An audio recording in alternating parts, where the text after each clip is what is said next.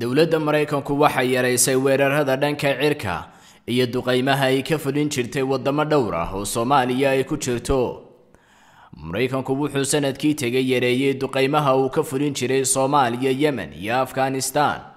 Sida lagu sheegay xog ururin ay sameeyeen hay'ada madax bannaan oo diwaan geliyey duqaymihii maraykanka ee sannadkii dhammaaday islamarkaana barbar dhigay duqaymaha diyaaradaha maraykanka ee sannadihii hore afar iyo konton boqolkiiba ayay yaraadeen duqaymaha maraykanka ee waddamadan iyadoo tan iyo markii la doortay joe baiden madaxweynaha maraykanka la arkay hoosu dhacaas.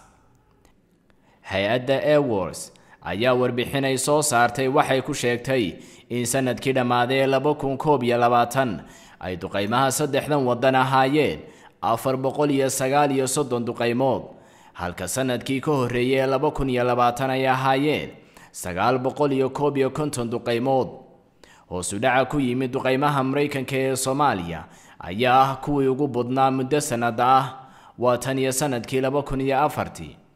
Madaxweynaha maraykanka joe baiden ayaa isbeddel ku sameeyey siyaasadaha ay ku wajahaan kooxaha xagjirka iyadoo la yareeyey duqaymaha kadib ciidamada maraykanka oo lagu eedeeyey inay dad badan oo rayid ah ku laayaan waddamada ay duqaymaha ka fuliyaan soomaaliya ayaa bilihii la soo dhaafay aanu maraykanku ka fulin wax duqayn ah waxaa ugu dambeysay bishii agost sannadkii tegay iyadoo markaas saldhigay lahaayeen ciidamada al-shabaab uu beegsaday. Khadar haybasaab t v. Qoonmaal islaam io fatwa. Ma qabtaa weydiimo diini ah?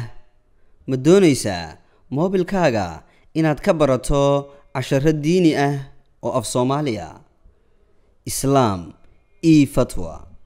Waxaad ka helaysaa fatwa diini ah tafsiir xadiis fiqi siiro dhaqanka suuban ducooyin. Soo qor fatwa ama islaam una dir hal shan eber